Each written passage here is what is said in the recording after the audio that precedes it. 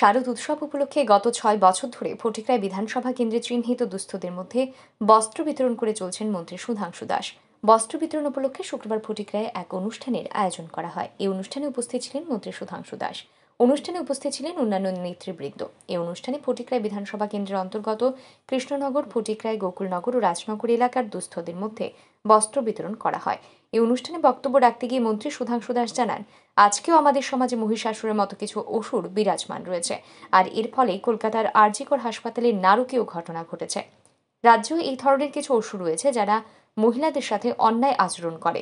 তিনি আরও জানান, নিজ ধর্মকে পালন করতে হবে। এই ক্ষেত্রে যদি মৃত্যু হয়, তবে তা মঙ্গলজনক। আমাদের ধর্মকে যারা সহ্য করতে পারে না, আমাদের পূজা পদ্ধতি যারা মানতে পারে না, তাদের বিরুদ্ধে আমাদের ঐক্যবদ্ধ হতে হবে। এই মানসিকতা নিয়ে প্রস্তুত হতে হবে। ভগবান শ্রীকৃষ্ণ অর্জুনকে বলেছিলেন শ্রেয়ান স্বধর্ম বীরগুণা, পরধর্ম সনুষ্ঠিতা স্বধর্মে নিদলং শ্রেয়, পরধর্ম চ ভয়াব অর্থাৎ অন্যের ধর্মের অনুষ্ঠান যদি আপনার ধর্মের চাইতেও খুব ভালো হয়, তবুও নিজের ধর্মটা হচ্ছে শ্রেষ্ঠ ধর্ম। নিজের ধর্ম রক্ষা করতে গিয়ে যদি আপনার মৃত্যুবরণ হয়, সেটাও কিন্তু মঙ্গলজনক এবং লাভজনক। অতএব নিজের ধর্মকে রক্ষা করতে হবে। আজকে সময় এসছে। যারা আমাদের ধর্মকে সহ্য করতে পারে না আমাদের পূজা পদ্ধতিকে মানতে পারে না, তাদের বিরুদ্ধে আমাদের একমত হতে হবে। আমাদের প্রতিহত করতে হবে সেই সমস্ত বিধর্মী মানসিকতাকে এবং আমাদের নিজের ধর্মকে রক্ষা করতে হবে। এদিন মন্ত্রী সুধাংশু দাস আরও জানান, গত ছয় বছর ধরে শারদ উৎসব উপলক্ষে দুস্থদের মধ্যে বস্ত্র বিতরণ করে চলছেন তিনি। তার মতে যাদের আশীর্বাদ এবং সাহায্য নিয়ে তিনি বিধায়ক হয়েছেন, মন্ত্রী হয়েছেন, তাদের পাশে থাকার জন্য চেষ্টা করছেন তিনি। মন্ত্রী আরও জানান, তার বিধানসভা কেন্দ্রে শারদ উৎসব উপলক্ষে এবছরও প্রায় চার হাজার দুস্থজনকে বস্ত্র বিতরণ করা হবে।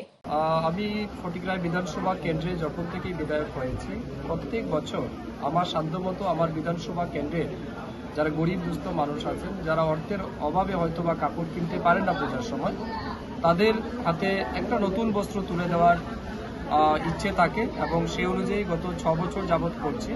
এই বছরও অনুরূপভাবে আমার বিধানসভা কেন্দ্রে সমস্ত গ্রাম পঞ্চায়েতে মানে চিহ্নিত করা কিছু সংখ্যক, খুব বেশি যারা আর্থিকভাবে দুর্বল তাদের হাতে সাধ্যমতো বস্ত্র তুলে দিচ্ছি এবং আমি মা দুর্গার কাছে প্রার্থনা করি, তাদের প্রত্যেকের জীবনে যেন অনেক বেশি সুখ এবং শান্তি তিনি প্রদান করেন। এবং এই যে উদ্যোগ, এটা আমি মনে করি যারা আমাকে নির্বাচিত করেছেন, যারা ভোট দিয়ে আমাকে এমএলএ বা মন্ত্রী বানিয়েছেন, তাদের পাশে থাকা এটা আমার নৈতিক দায়িত্ব এবং কর্তব্য। এই লক্ষ্যমাত্রা নিয়েই প্রত্যেক বছর চেষ্টা করি কিছু করার তাদের জন্য এবং সে অনুযায়ী আজকের এই অনুষ্ঠানের আয়োজন।